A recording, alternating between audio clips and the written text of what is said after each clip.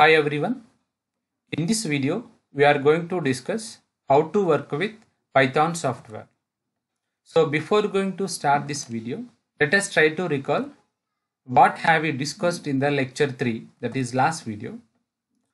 In that we discussed how to download and install Python software, what are the different versions of Python is available, how to set path for the Python, what do we get after the installation of Python software. After watching this video, you will be able to give the answer for these questions. How to use help function in the Python, how to install packages like NumPy, Pandas, Matplotlib in your system, how to verify installed packages in your system, what is Python IDLE, what is the difference between Python command prompt and Python IDLE, how to execute multi-line program using IDLE, how to use system prompt to execute Python programs. Let us see how to use help function in the Python. When a programmer faces some doubt about how to use a particular feature of the Python or how to use a particular topic of a Python language, we can use help function. This is a predefined function. We can use it at Python prompt. See this? So when you open a Python command line environment, you can observe three greater than symbols. Generally that is called Python prompt. After that, just type help function. This environment will be changed into the help mode. After changing into the help mode, type topics. So all the predefined topics names will be displayed as a result of this command topics. You can type any topic name what you find here. Then the complete information about that topic will be displayed here. And one more important point. So when you use topics command, all the topics names will be displayed in the uppercase letters. You must use uppercase letters only. Suppose if you use lowercase letters, you will get an error. You will get the error like there is no information about the topic name. In this example, I typed looping in the lowercase letters, but you see now the, there is no information found about the loop. This type of the error you will get. So you must use capital letters only. Then see help and the topic name looping. So all the information about the looping will be displayed here. To quit from the help mode, press the enter button without typing any topic name.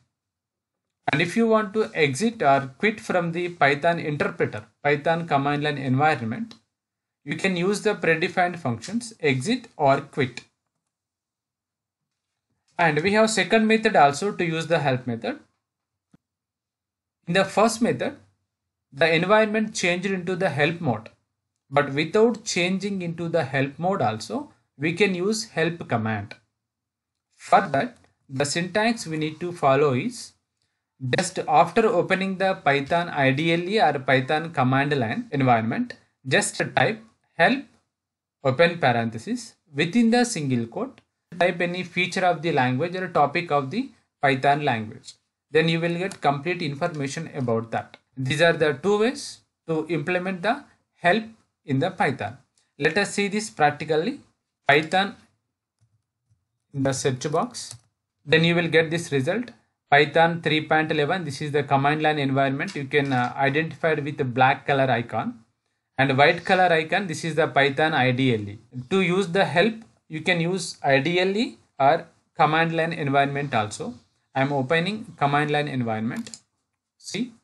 So I am using first method of the help that is just printing help empty parenthesis then press enter button. Now you are in the help mode. Type topics and press enter. So these are the different topics available. Then type any topic name. Suppose I want to know about the functions. Then type functions. Press enter. The complete information about the functions will be displayed as a result of the command functions. Now I want to exit from this help mode. For that just press enter without typing any topic name two times. Now you can observe now we are at Python prompt. Now coming to the second method to use the help. The second method is you must type help open parenthesis single quote type any topic name you want to know. I want to know about the print method. Then press enter. That's it. The complete information about that topic will be displayed. This is the second method to use help method. Then next topic is how to install the packages in your system. We use pip command to install the packages in Python. Pip is a short form for the Python installation of packages. I want to install the package numpy.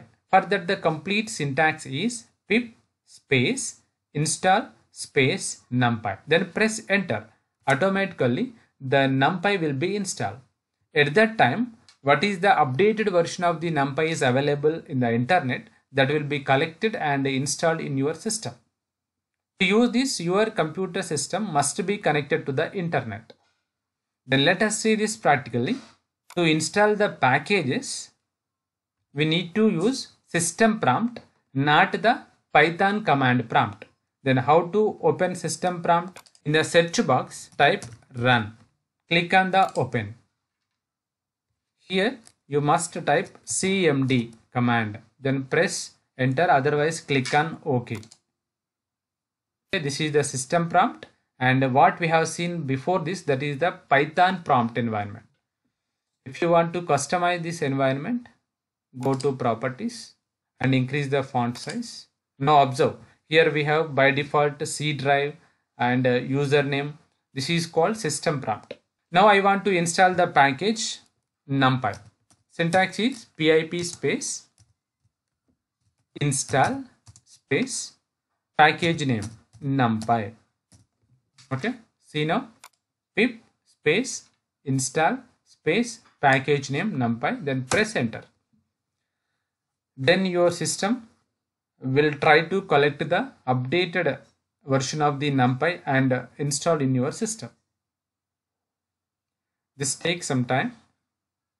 So what is the syntax we used to install the NumPy? By using the same syntax, you can install any package as per your requirement. These are the frequently used packages. Pandas generally we used for the data analysis purpose. XLRD, this is also one of the popular packages. This is used to retrieve the data from the Microsoft Excel spreadsheet files. You can analyze the data what we have in the Excel. Install XLRD package by using the same syntax. Then one more popular package is Matplotlib. This is useful to produce good quality 2D graphs. After installation of the packages, how to verify that? That particular package is properly added to your Python software or not. For that, we use this command. At the command prompt, type help open parenthesis within the single quote type modules so what are the modules are installed in your system at that point of time? All the names will be displayed as a result of this command. So just now we installed NumPy now. Then you can observe NumPy here. This is the way how to verify the installed packages. Then if you want to execute Python programs, we have three ways. First one is using the Python command line environment and the second method is using the python IDLE and the third method is using the system prompt.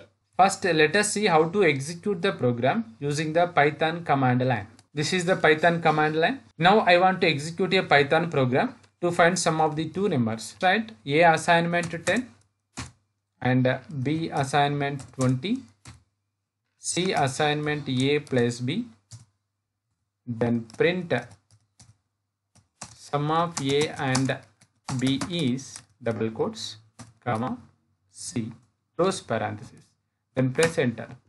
Now this is the output of this program. Sum of a and b is 30 now observe here. A assignment 10 i am storing the value 10 into the variable a. And next line storing the value 20 into variable b. I am finding the sum of the a plus b and storing that result into the variable c. I want to print the value of c. In Python, we use print function as the output function. Print, open parenthesis, within the double quotes, what we are writing sum of a and b is. This is called string constant. What you are writing in the double quotes or we may use single quotes also that will be printed how that is. What you are typing that will be printed as it is. Then after that you must type comma and variable name. After this string, what is the variable name you typed here? The value of that variable will be printed here. If you observe the output, sum of a and b is. This is the string constant that will be printed as it is.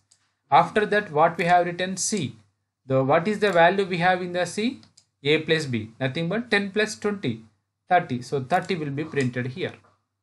So this is how to execute the programs using Python command line environment. Then let us execute the same program with help of Python IDLE. So this is the Python IDLE environment. I'm writing the same program B assignment 20 C assignment A plus B then I want to print that result print sum of A and B is double quotes comma C close parenthesis, press enter. Now you can observe sum of a and b is 30. This is the output of this program. The drawback of the Python command line environment and IDLE is these are interactive modes. When you type a statement that will be executed by the Python interpreter immediately. But this is not a convenient method. If you want to execute multi-line program, so this is not a better approach.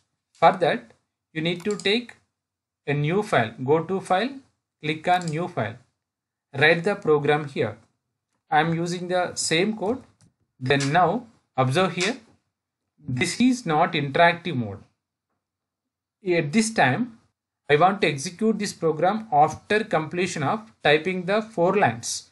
But in the previous methods that is python command line python idle when you type first line that will be executed. Second line at that time second line will be executed. But this approach is different. I have written these four lines. I want to save this. For that click on the file and click on save as. Select the location where you want to save this file. Okay? Suppose i want to save this file at the desktop and click here give the file name. I'm giving the file name as sum Dot .py is compulsory. The extension of the Python program is dot .py. Save as type Python files or you may select all files also. Then click on save. Now this file was saved. You can observe that file name here sum.py. To execute, just click on run and we have the option run module. Just click on this. Then you will get the output sum of a and b is 30. This is the another method. After typing of the complete program, the program will be executed. This is the traditional approach. This is the good approach. We will discuss how to execute the programs using the system prompt in the next video. Now check your knowledge what you learnt from this video. What is Python IDLE? What is the difference between Python command prompt and Python IDLE? How to execute multi-line program using IDLE? How to use system prompt to execute Python programs? We will cover this in the next session. If it is useful to you, subscribe the channel, watch and share it. Thank you.